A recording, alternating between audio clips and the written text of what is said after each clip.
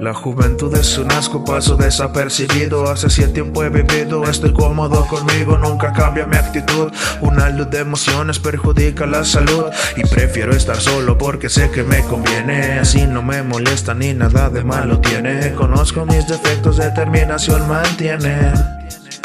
Mis nulas experiencias nada de bonito tienen. La comunicación entre personas es absurda solo por razones burdas y banales. Tienen lazos de atención. Tengo bien definida mi actitud de ser misántropo. Definición de autóctono. Ya no busco refugio ni confort en relaciones. Fuera de las pasiones típicas de adolescentes. Mejor paso de la gente. Ser yo mismo es importante. Eso me fortalece y con eso sigo adelante. Nadie sabe de mí y eso me evita la molestia de tratar con personas y sus sueños de sinergia. Odio la hipocresía, creo que se me vuelve alergia. Perfecta mi estrategia, el ermitaño ambulante, el cual vive entre sombras sin un papel importante.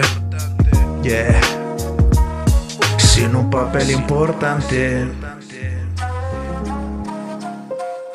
En contra de mi voluntad se me impuso lo de ayudar a personas que ni conozco. Absorto en la belleza de esa chica despiadada. No me sirvió de nada, trata de hacer empatía. Quien dijo que cambiaría, solo me importa lo auténtico. Por eso sigo escéptico a los lazos de amistad.